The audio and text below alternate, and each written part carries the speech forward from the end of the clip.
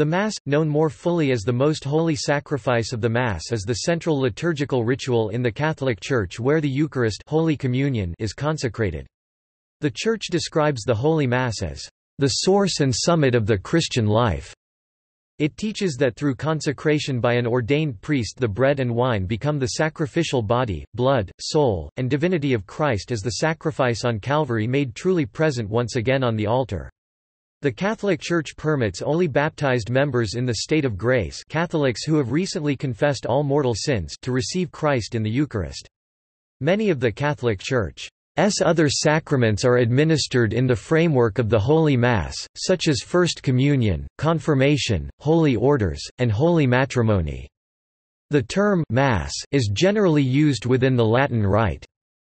S celebrations of the Eucharist, while the various Eastern rites use terms such as Divine Liturgy, Holy Qurbana, and Badarak, in accordance with each one's tradition. Since the publication of Pope Benedict XVI, S 2007 Motu proprio Summorum Pontificum, the Roman Rite has been classified into two forms, the extraordinary form of the Roman Rite, which uses the liturgy of the Missal issued by Pope John XXIII in 1962, and the ordinary form, which uses the Missal revised by Pope Paul VI in 1969.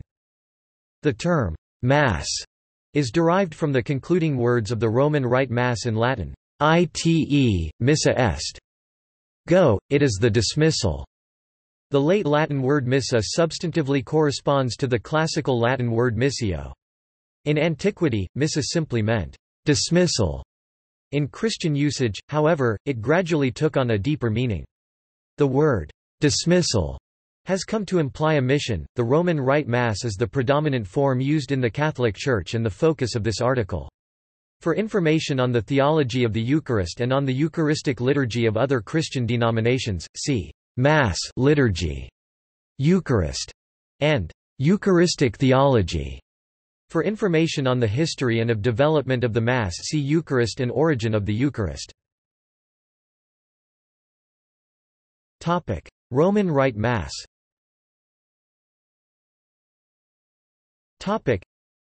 the following description of the celebration of Mass is limited to the current ordinary form of the Roman Rite, conducted using the local vernacular language and customs. This version was introduced in 1969 following calls for liturgical reforms by the bishops participating in the Second Vatican Council 1962 based on new historical perspectives and biblical studies, and has become the most common form used. This version was introduced to succeed the Tridentine Mass, celebrated in Latin and dating to the liturgical reforms of the Council of Trent 1545 -46. The Tridentine Mass, as revised in 1962, is still permitted for use as an extraordinary form of the Roman Rite. Other historical and minor contemporary Latin Rite Masses have been used in different regions of the world, as well the Eastern Christian forms known as the Divine Liturgy. The Catechism of the Catholic Church CCC or Catechism produced in 1994 discusses the importance of the Mass in the Catholic tradition based on the whole history of the Mass and the understanding of it to that time. The United States Catholic Conference edition of the Catechism prefers to call the Mass the Eucharistic celebration, after its roots in the celebrational Last Supper. Under this topic in the subject index it lists as principal subtopics, commanded by Christ, center of the Church's life, memorial celebration, in the Church from the beginning, participation as Church precept, structure and movement. Liturgical texts The Roman Missal contains the prayers, antiphons and rubrics of the Mass. Earlier editions also contained the scripture readings, which were then fewer in number. The latest edition of the Roman Missal contains the normal, ordinary form of Mass in the Roman Rite and the 1962 edition the Tridentine Mass which, according to the motu proprio Summorum Pontificum, may be celebrated as an extraordinary form of the Roman Rite. The lectionary presents passages from the Bible arranged in the order for reading at each day's Mass. Compared with the scripture readings in the pre-1970 Missal, the modern lectionary contains a much wider variety of passages, too many to include in the Missal.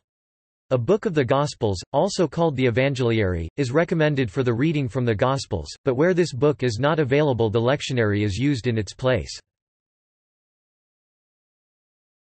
Topic: Structure of Mass. Topic: The Eucharistic celebration is one single act of worship, but consists of different elements, which always include the proclamation of the Word of God, thanksgiving to God the Father for all his benefits, above all the gift of his Son, the consecration of bread and wine, which signifies also our own transformation into the body of Christ, and participation in the liturgical banquet by receiving the Lord's body and blood." Within the fixed structure of the Roman Rite Mass outlined below, the proper or daily varying parts are the scripture readings and responsorial psalm, the antiphons at the entrance and communion processions, and the texts of the three prayers known as the collect, the prayer over the gifts, and the post-communion prayer. These convey themes from the liturgical season, the feast days of titles or events in the life of Christ, the feast days and commemorations of the saints, or for masses for particular circumstances e.g., funeral masses, masses for the celebration of confirmation, masses for peace, to begin the academic year, etc. The easiest way to determine the type of form the Mass will take will be the positioning of the priest and altar, and the language. Celebrations of the extraordinary form aka Tridentine Mass are almost universally facing ad orientem to the altar and conducted in Latin, while celebrations of the ordinary form Mass of Paul VI aka Pauline Mass are commonly conducted versus populum and conducted in the local vernacular modern language of the country or in the language of expatriated foreign residents. Introit, procession, and introductory rites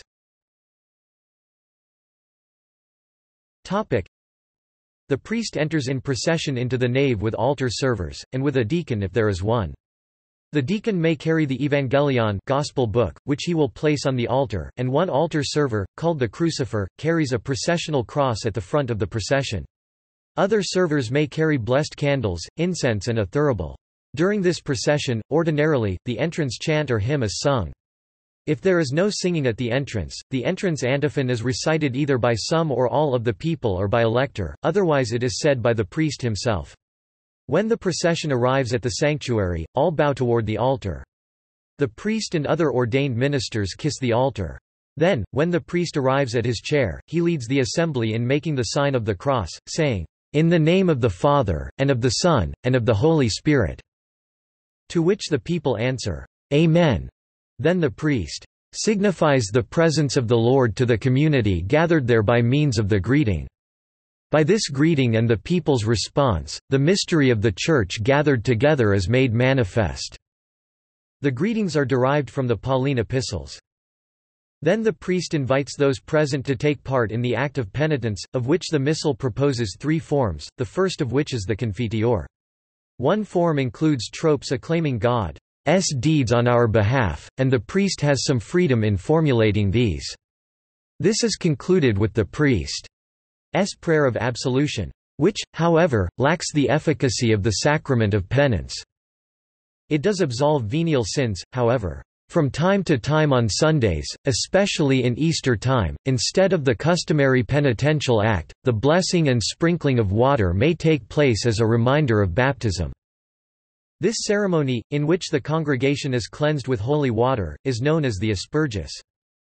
After the penitential act, the Kyrie, eleison Lord, have mercy is always begun, unless it has already been part of the penitential act.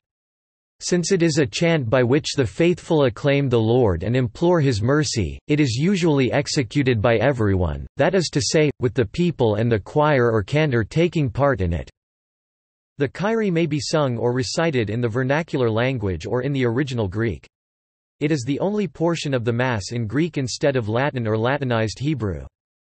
The Gloria in Excelsis glory to God in the highest is a most ancient and venerable hymn by which the Church, gathered in the Holy Spirit, glorifies and entreats God the Father and the Lamb, it is sung or said on Sundays outside Advent and Lent, and also on solemnities and feasts, and at particular celebrations of a more solemn character.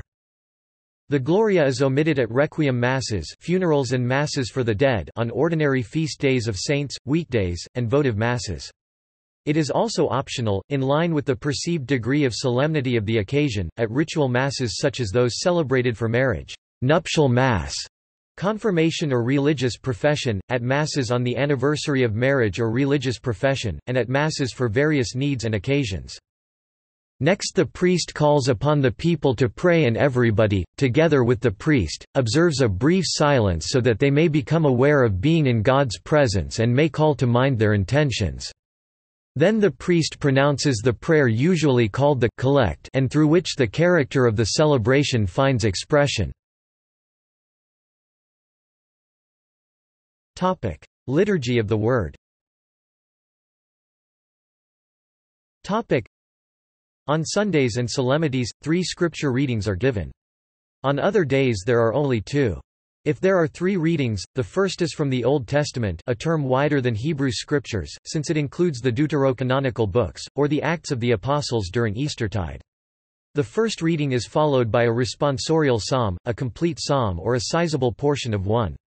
A cantor, choir or lector leads, and the congregation sings or recites a refrain. That the people may be able to sing the psalm response more readily, texts of some responses and psalms have been chosen for the various seasons of the year or for the various categories of saints. These may be used in place of the text corresponding to the reading whenever the psalm is sung. The second reading is from the New Testament, typically from one of the Pauline epistles. The reader begins most reading with the introductory statement, "...a reading from the Book of or a reading from the letter to and concludes each reading by proclaiming that the reading is the word of the Lord. The congregation responds by saying, Thanks be to God.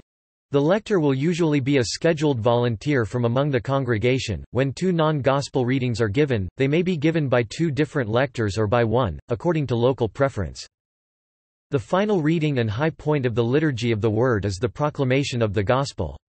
This is preceded by the singing of the Gospel acclamation, typically an Alleluia with a verse of Scripture, which may be omitted if not sung. Alleluia is replaced during Lent by a different acclamation of praise. All stand while the Gospel is chanted or read by a deacon or, if none is available, by a priest.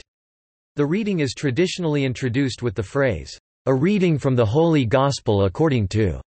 Followed by the evangelist's name. To conclude the Gospel reading, the priest or deacon proclaims, the Gospel of the Lord and the people respond, Praise to you, Lord Jesus Christ. The priest or deacon then kisses the book. If a deacon participates, he reads the Gospel.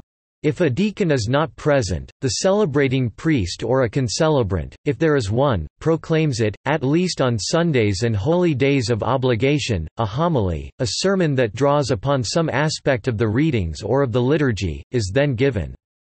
Ordinarily the priest celebrant himself gives the homily, but he may entrust it to a concelebrating priest or to the deacon, but never to a lay person. In particular cases and for a just cause, a bishop or priest who is present but cannot concelebrate may give the homily.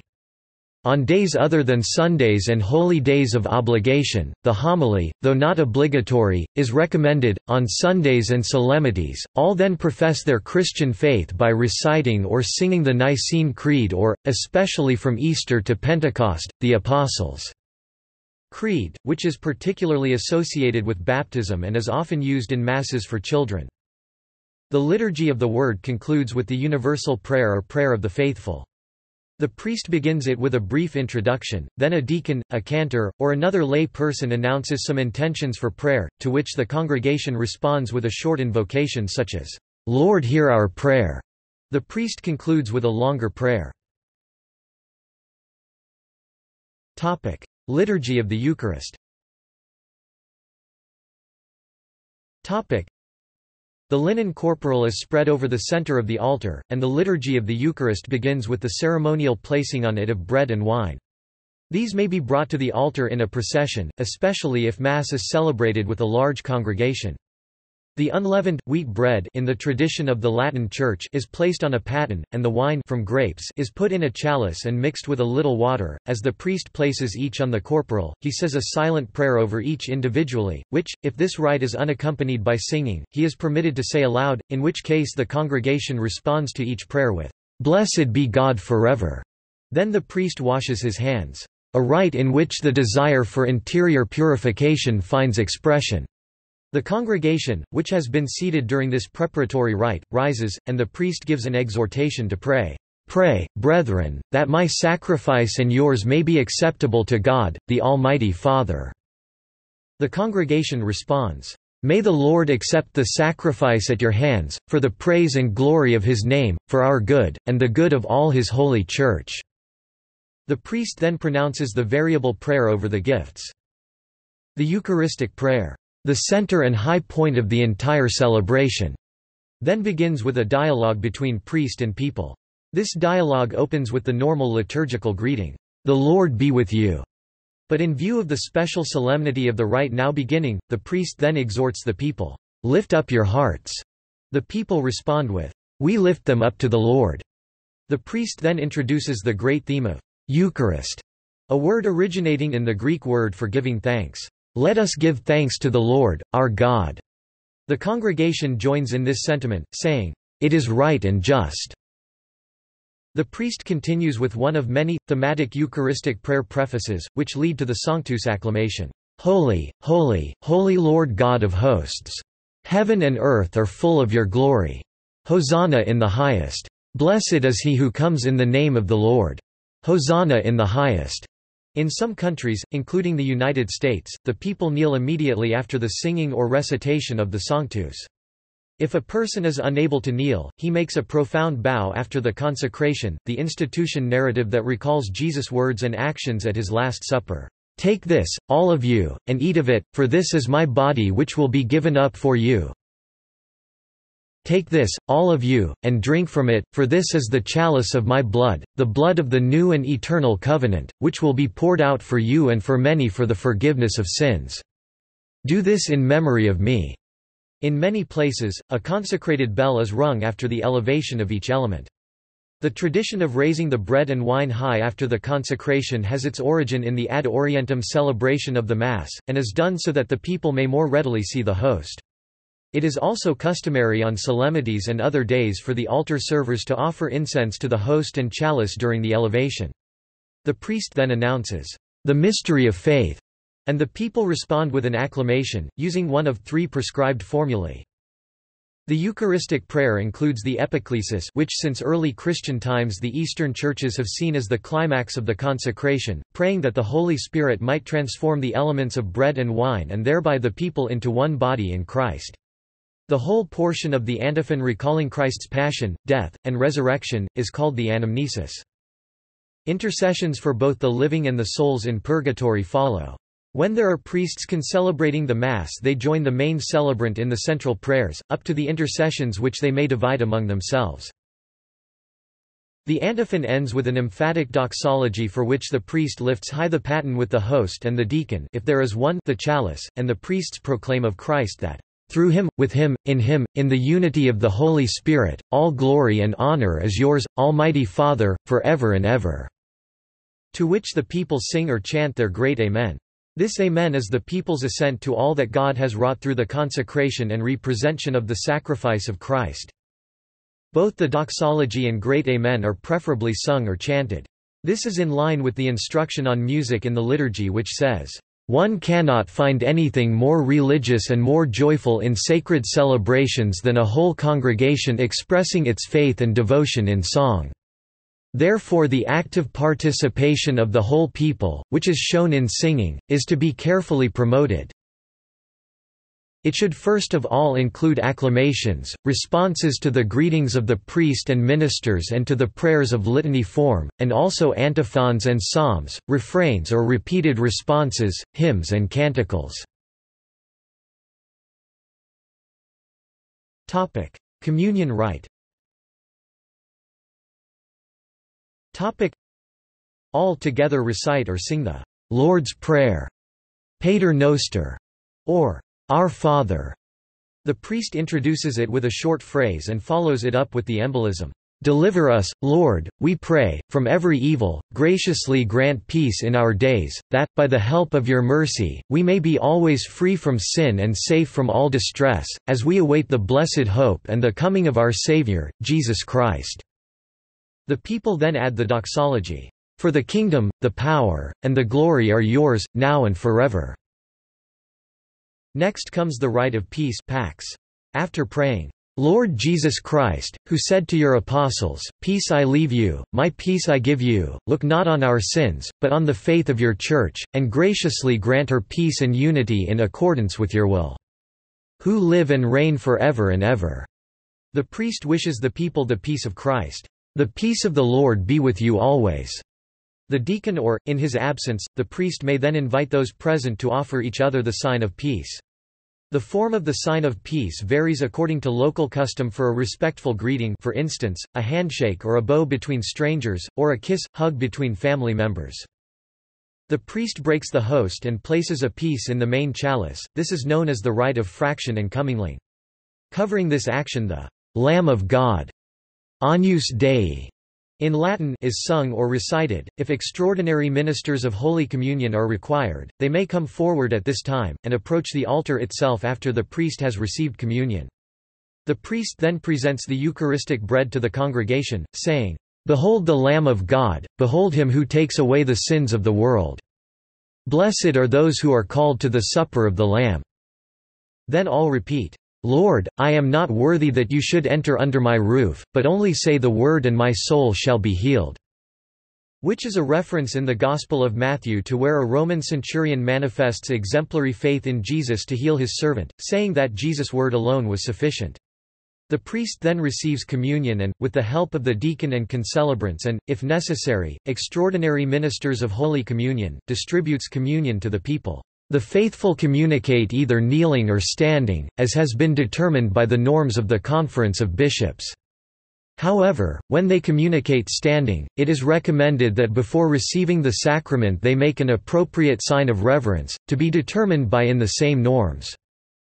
In the United States, communion can be received either standing by local indult or by kneeling the universal norm. If received standing, the communicant bows profoundly before receiving, then the distributing minister says, "...the body of Christ", or "...the blood of Christ", or "...the body and blood of Christ", if both are distributed together by intinction. The communicant responds, Amen. In most countries the communicant may receive the consecrated host either on the tongue or in the hand, at the communicant's own discretion.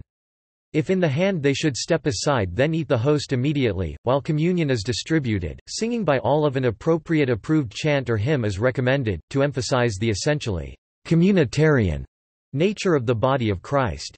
If there is no singing, a short antiphon may be recited either or by a lector.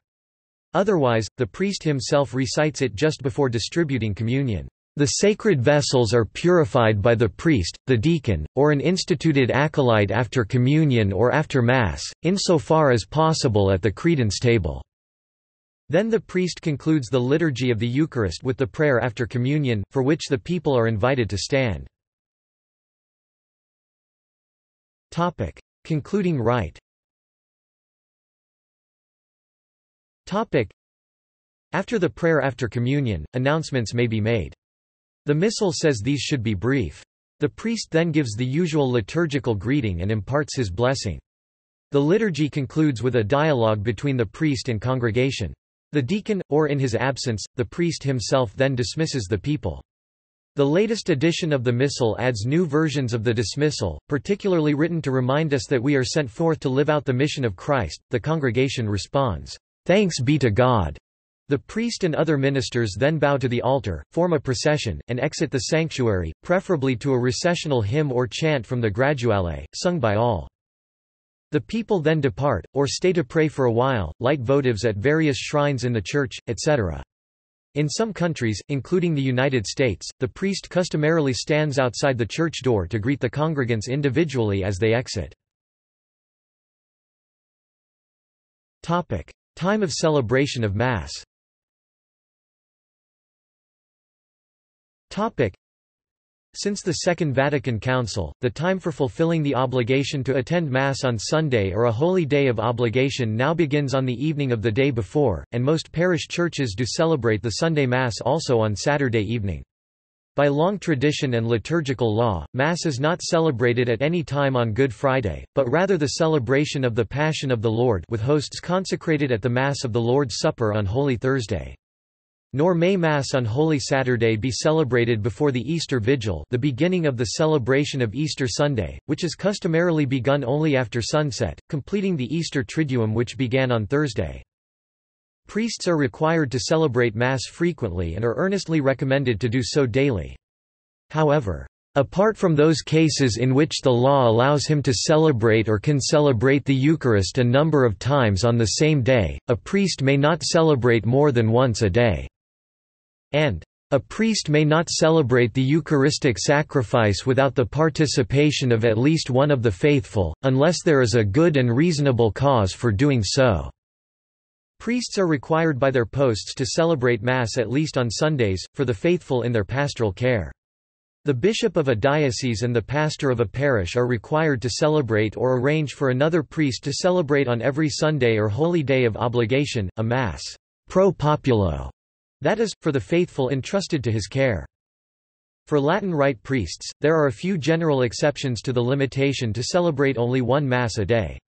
By tradition, they may celebrate Mass three times on Christmas Day the Midnight Mass or Mass of the Angels, the Dawn Mass or Shepherd's Mass, and the Day Mass or Mass of the Divine Word, each of which has its own readings and chants. On All Souls' Day they may also, on the basis of a privilege to all priests by Pope Benedict XV in August 1915, celebrate Mass three times, only one of the three Masses may be for the personal intentions of the priest, while the other two Masses must be for all the faithful departed and for the intentions of the Pope. A priest who has concelebrated the Chrism Mass, which may be held on the morning of Holy Thursday, may also celebrate or concelebrate the Mass of the Lord. S supper that evening. A priest may celebrate or can celebrate both the Mass of the Easter Vigil and Mass during Easter Day the Easter Vigil should not begin before nightfall, it should end before daybreak on Sunday, and may therefore take place at midnight or in the early hours of Easter morning. Finally, a priest who has concelebrated Mass at a meeting of priests or during a pastoral visitation by a bishop or a bishop's delegate, may celebrate a second Mass for the benefit of the laity. In addition to these general permissions, the local ordinary may, for a good reason, permit priests to celebrate twice they are then said to binate on weekdays, and three times trinate or trination on Sundays and holy days Canon 905 Section 2. Examples would be if a parish priest were to need to celebrate the usual, scheduled daily Mass of a parish and a funeral later in the morning, or three Masses to accommodate all of the parishioners in a very populous parish on Sundays. In particularly difficult circumstances, the Pope can grant the diocesan bishop permission to give his priests faculties to trinate on weekdays and quadrinate on Sundays. In many countries, the bishop's power to permit priests to celebrate two or three masses on one day is widely used, and it is common for priests assigned to parish ministry to celebrate at least two masses on any given Sunday, and two masses on several other days of the week. Permission for four masses on one day has been obtained in order to cope with large numbers of Catholics either in mission lands or where the ranks of priests are diminishing. This sometimes also happens in the case of historic churches which are unusually small compared to their number of parishioners, but which have not been replaced due to their historic character. Summary table regarding priests with pastoral responsibilities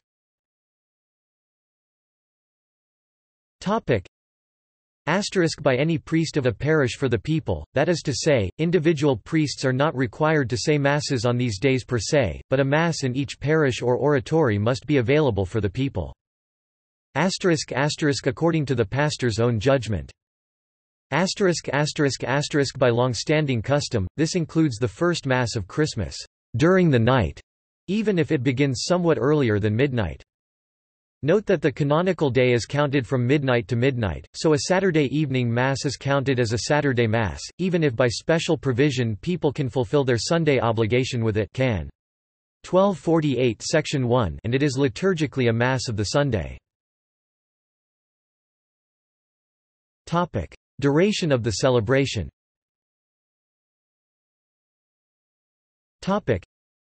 The length of time that it takes to celebrate Mass varies considerably.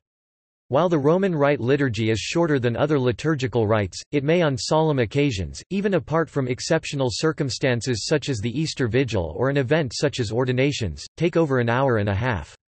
The length of the homily is an obvious factor that contributes to the overall length. Other factors are the number of people receiving communion and the number and length of the chants and other singing. For most of the second millennium, before the 20th century brought changes beginning with Pope Pius X's encouragement of frequent communion, the usual Mass was said exactly the same way whether people other than a server were present or not.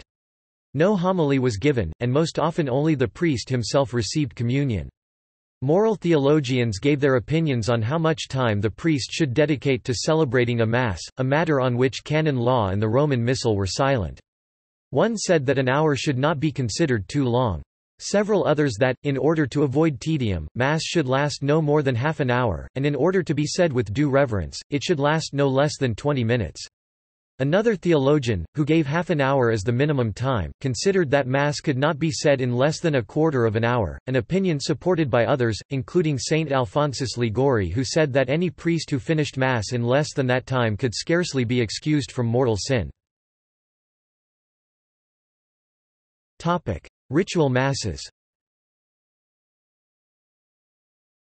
Topic: A mass celebrated in connection with a particular rite, such as an ordination, a wedding, or a profession of religious vows, may use texts provided in the ritual masses section of the Roman Missal. The rite in question is, most often, a sacrament, but the section has special texts not only for masses within which baptism, confirmation, anointing of the sick extreme unction, holy orders, and matrimony are celebrated, but also for masses with religious profession, the dedication of a church, and several other rites. Confession penance or reconciliation is the only sacrament not celebrated within a Eucharistic framework and for which therefore no ritual Mass is provided. The ritual Mass texts may not be used, except perhaps partially, when the rite is celebrated during especially important liturgical seasons or on high-ranking feasts. A nuptial Mass is a ritual Mass within which the sacrament of matrimony is celebrated. If one of a couple being married in a Catholic church is not a Catholic, the rite of matrimony outside Mass is to be followed. However, if the non-Catholic has been baptized in the name of all three persons of the Trinity and not only in the name of, say, Jesus, as is the baptismal practice in some branches of Christianity, then, in exceptional cases and provided the bishop of the diocese gives permission, it may be considered suitable to celebrate the marriage within Mass, except that, according to the general law, communion is not given to the non-Catholic rite of marriage. 8. Pope Francis granted the Jubilee indulgence to the faithful celebrating the Holy Eucharist. Topic: Other masses. Topic: In the United States, the liturgical custom of holding a red mass for the legal profession has more recently led to annual masses for at least two other occupational groups. Blue masses for police officers and others engaged in public safety, as well as white or rose masses for doctors, nurses, and other health care professionals. Topic: Blue Mass.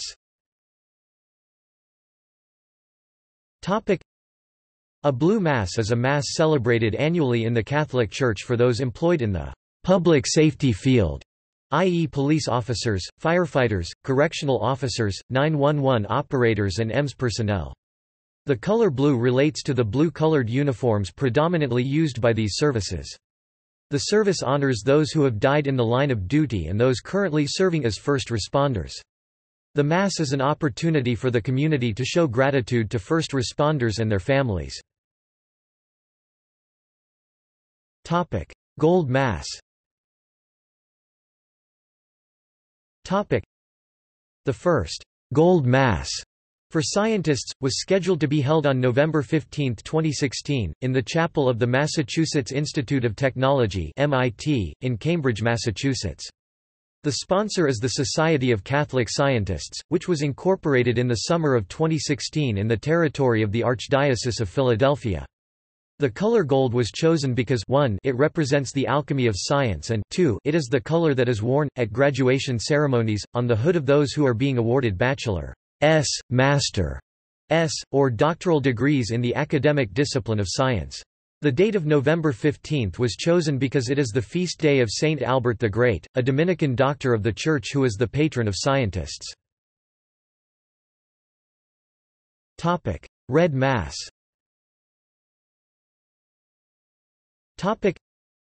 a Red Mass is a Mass celebrated annually in the Catholic Church for judges, lawyers, law school professors, law students, and government officials. The Mass requests guidance from the Holy Spirit for all who seek justice, and offers the opportunity to reflect on what Catholics believe is the God-given power and responsibility of all in the legal profession. Rose Mass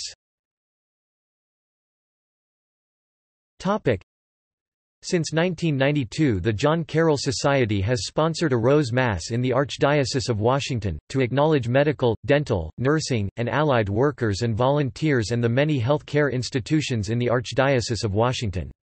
It takes place annually on the fourth Sunday of Lent Laetare Sunday, a Sunday when the vestments worn by the celebrant are rose-colored.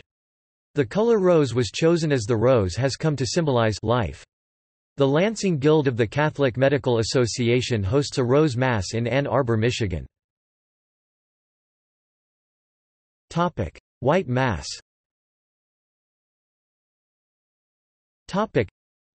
the tradition of the White Mass in the United States finds its origins in the development of the National Catholic Medical Association in the early 1930s. The White Mass, so named by the color worn by those in the healing profession of medicine, is held in recognition of the dedicated work of healthcare professionals and to ask God's blessing upon patient, doctor, nurse, and caregiver. The Archdiocese of St. Louis celebrates a White Mass every year for those involved in healthcare. The Mass is associated with St. Luke, the patron of physicians and surgeons, whose feast day is October 18. The Archdiocese of Atlanta also celebrates a white mass honoring health care professionals, as does Creighton University. St. Patrick's Cathedral in Norwich, Connecticut, held its 25th white mass in 2015.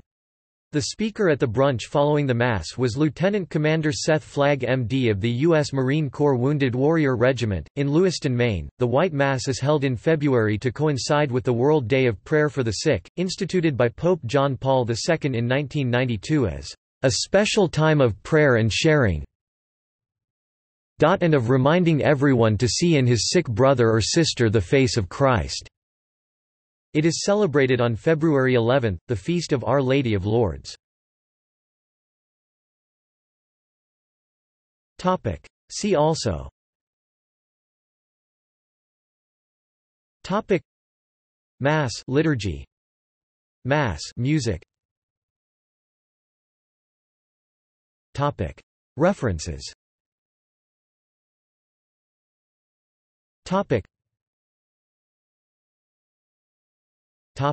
Further reading.